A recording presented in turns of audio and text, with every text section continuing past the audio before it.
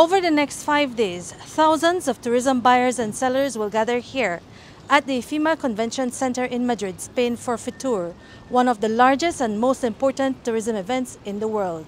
FITUR is the leading trade fair for tourism in Latin America, and as part of its events, today Belize participated as an observer of the 26th Ibero-American Conference of Tourism Ministers and Entrepreneurs.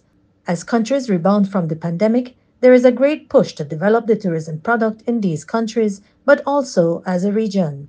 With people experiencing a desire to live more, travel more, and experience more post pandemic, there is a need for greater development and an opportunity for growth.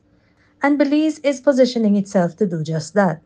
The FITUR provides an opportunity to tap into the European market.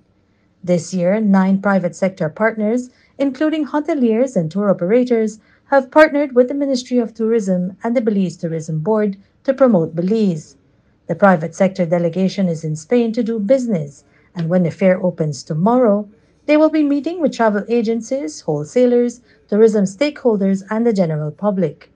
While in Spain, the Ministry of Tourism and the BTB representatives will be meeting with international trade and press, airlines, and representatives from the World Tourism Organization with the purpose of promoting Belize as a prime tourism destination. On Thursday, Belize will host an official handing over ceremony for the pro tempore presidency of SITCA, which is the tourism arm of the Central American Integration System. Tourism Minister Anthony Mahler assumes the position from the Dominican Republic. We'll follow the Belize delegation over the next few days and bring you all the highlights from FITUR. Reporting for Love News from Spain, I am Manuela Ayuso.